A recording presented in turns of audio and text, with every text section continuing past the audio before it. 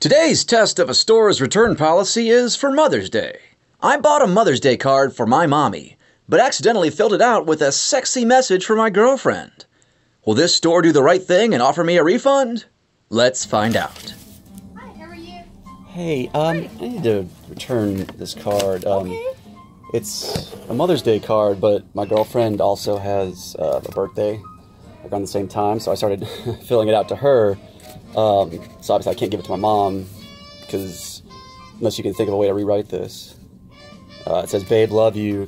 Thanks for letting me raw dog your fart box. Uh, no chick's ever done. Let me do that to you before, and like I can't give that to my mom, obviously. Um, Uh, so can I return it? uh, you wrote on it.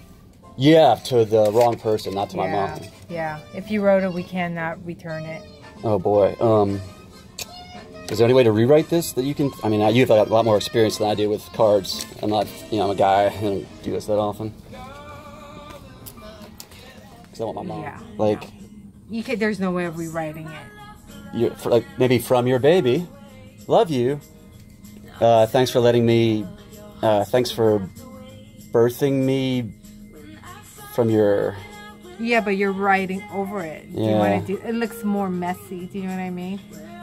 Yeah, and I don't think I just don't see how to rewrite fart box. Yeah, I, I, I don't even suggest that to be honest. We can just cut it out anyways. You want to do that? Well, I think we I didn't even think of the cutting idea.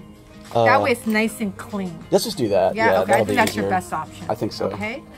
I appreciate the help. Yeah, yeah. Instead of you writing over Right, it, right. and it looks Let me messy. it on my stuff. Yeah, Yeah. it's a lot better like that. Thanks a lot. Okay. So there you have it. No refund for my card, but a helpful clerk who gave me a solution to cut out the sexy part of the card and salvage Mother's Day. That's a win win!